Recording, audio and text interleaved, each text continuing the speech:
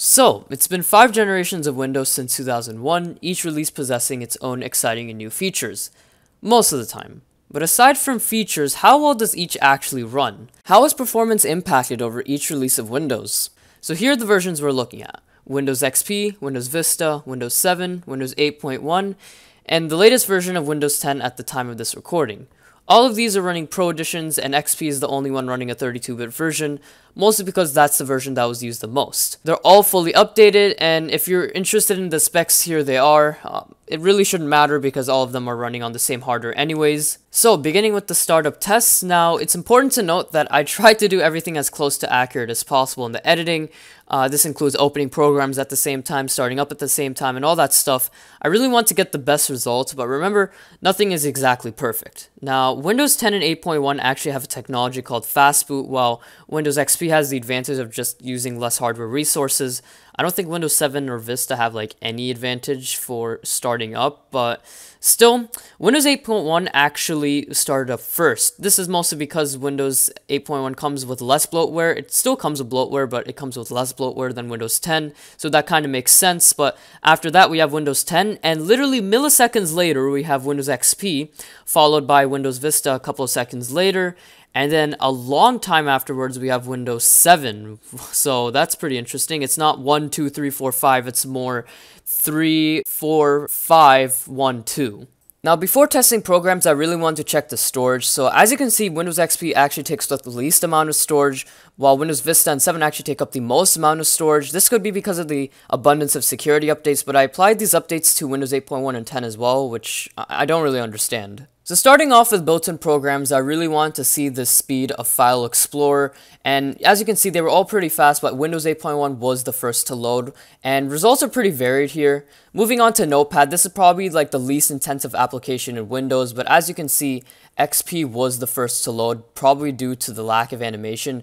But again, strangely enough, there are varied results here. There's probably a percentage error somewhere around here. Uh, but these are really low-end applications, so I'm not I'm not really that surprised that these applications are running.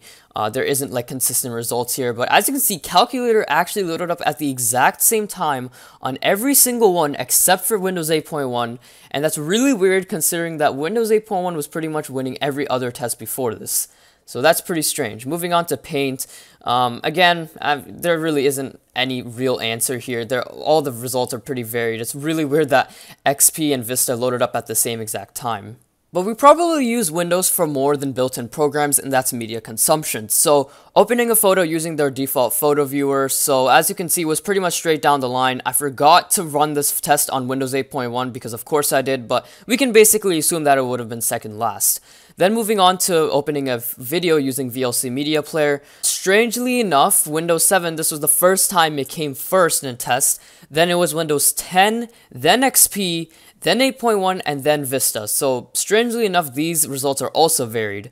And also, I decided to use a variety of applications. Some of them are using same versions, some of them are using different versions. So I decided to use Windows Media Player to open this video file. And uh, Windows XP and Vista doesn't even support the proper codecs for MP4 files. But as you can see, Results are pretty similar. Moving on to web browsers, I really want to check the installation speed of Firefox 52.9 ESR in every single one of these. Of course, this is mostly dependent on my hands and reaction time, but I tried to do it as accurately as possible, as I said before.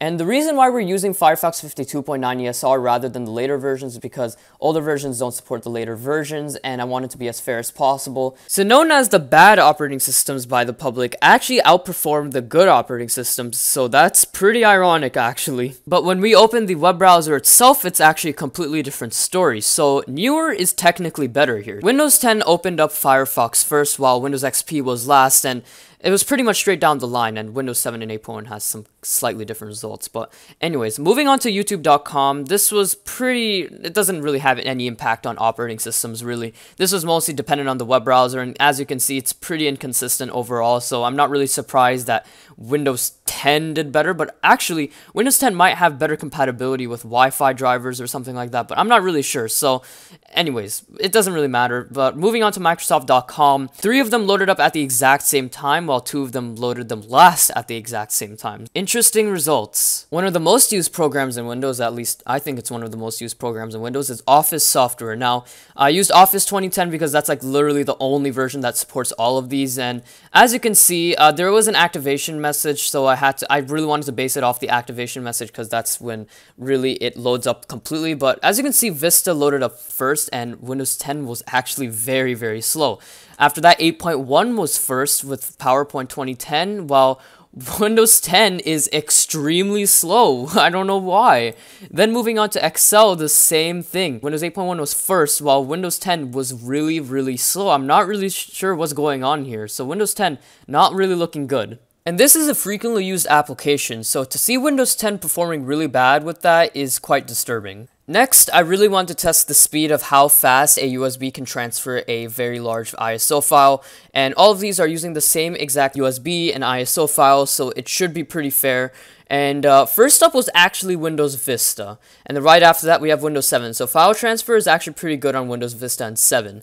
Then it was actually Windows 8.1, and believe it or not, Windows 10 actually outperformed Windows XP, and I don't know why, but Windows XP did really bad on that test. A critical application we use every single day on Windows is an anti-malware application, so running a scan of Malwarebytes on all of these, two of them are using older versions while three of them are using the latest version. I had to do a lot of speeding up because some of these were taking an extremely long time, but as you can see, Windows 10 was the first to finish the test, followed by Windows Vista, then Windows 8.1, so these results are pretty inconsistent, but Strangely enough, Windows XP wasn't really good in this test. It actually performed the worst. Windows 7 did come fourth. As sad as it is, I'm starting to see a negative pattern with Windows XP. Now, before running benchmarks on all of these, I really want to see how much of a difference user account control made on opening applications. So running Geekbench 2, unsurprisingly, Windows XP did load the application first just because it did not have user account control. Other operating systems have varied results. And here's the moment you've been waiting for, running a Geekbench 2 benchmark on all of these. And, uh,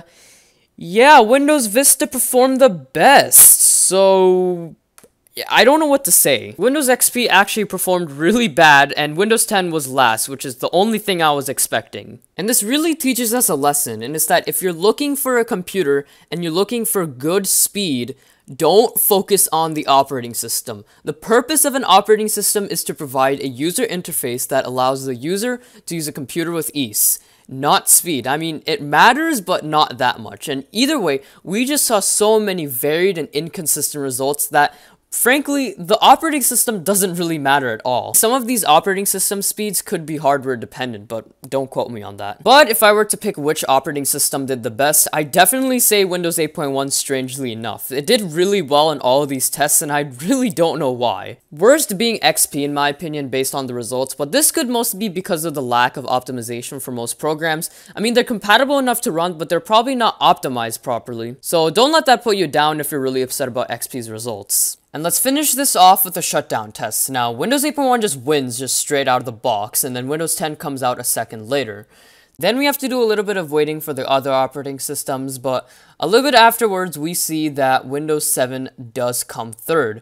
And then a little bit after that, we have Windows Vista, and then Windows XP comes last. And that's pretty much it for the speed test. So I really want to thank you all for watching this video. This video was not easy. I really wanted to do another test or two, but this video just was so hard to edit that I just couldn't do it. I was losing my mind. Streaming five different footages into one and then editing them all at the same time really takes up a lot of my processing power for my computer. It just my computer can't handle it. So that's why this video took so long. So I appreciate your time. A like, a subscribe, any comment, anything would be greatly appreciated. And if you're interested in any of my other videos, here's some end cards and I'll see you all later.